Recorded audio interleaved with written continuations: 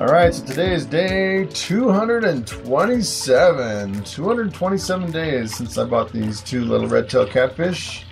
Been taking videos every day, posting them on YouTube so you can see how fast they grow.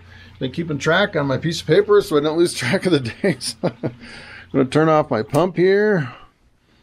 And let's see what these two guys are up to. Today is actually water change day. I'm running behind. I usually, usually I'm draining the water already. Uh, I was kind of surfing the internet, getting kind of lost in my thoughts. You know, behind on the water change, but we'll definitely do a water change today on these two guys. So today we're going to start with some hand feeding. Look, they're coming right up. They're used to eating right out of my hand. Super friendly catfish. And someone was asking how big they get. These guys will definitely outgrow this hot tub. They will get four to five feet long. These are little monsters. They're still babies compared to the potential size that they could get. They get really huge and they're super friendly too. I'm feeding uh, some mixed fish. This looks like a piece of cod right here. See if we can bring them up. They're fighting over who's gonna get it. Who's gonna get it? That's pretty funny. All right, so we'll do a couple more hand feedings here. This looks like a bunch of pieces here. We'll feed them this big clump.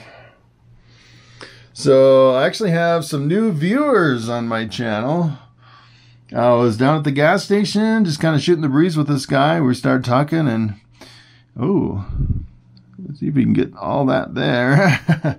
and the guy I was talking to was actually in the hot tub business, installing hot tubs.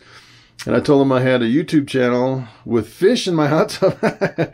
he was really excited about it. He said he was going to send it to all his hot tub friends. uh, I thought that was pretty interesting. Uh, never thought I'd get, I thought, you know, mostly fish viewers would come over here, but I never thought about, you know, the hot tub guys coming over to watch my fish in the hot tub.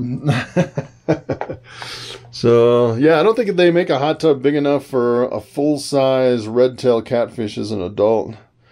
They will definitely outgrow even the biggest hot tub. They need like uh, like an indoor pond. Of course, at that point, you know, we'll be uh, bringing in the, the pond guys. Um, the only problem with these guys is they can't go outside. They're like a tropical catfish, so uh, it'll have to be like an indoor pond or a heated pond or like a, a pond down in you know some tropical place like Florida or Hawaii or something like that. But yeah, I think the coldest you can get on these is like 68 degrees. Something like that. I actually have it dialed into 77, 78.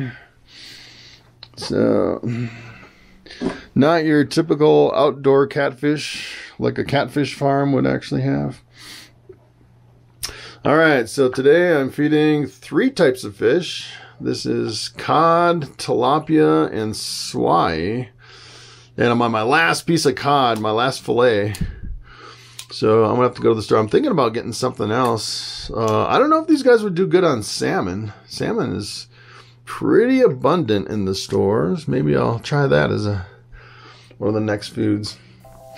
All right, so I'm going to finish up with some underwater video.